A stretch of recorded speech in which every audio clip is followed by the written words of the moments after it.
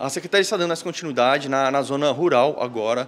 É, nós convocamos toda a população da colônia do Oriran e Rio do Peixe, a partir do, do dia 6 de novembro, deixarem aberta a, as, as porteiras os colchetes para que o carro possa passar e fazer um, o trabalho o mais rápido possível, porque já que está iniciando a, a época de, de chuvas, a gente precisa dar uma celeridade nessa vacinação, tanto cachorro quanto gato.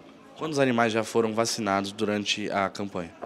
É, cachorro por volta de 3.200 e gatos 480 aproximadamente. Nós, nós ainda queremos atingir a meta de, de 4 mil cachorros e mil gatos.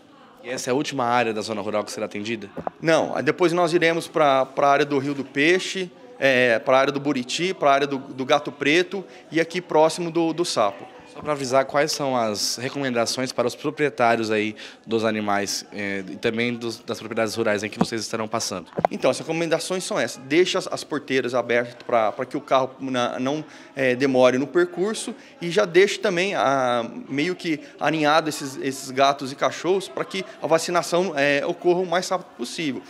se possível com focinheira, animais mais é, ariscos assim, já deixa dentro de um saco para a hora que o agente chegar para vacinar, já ocorra tudo tranquilo.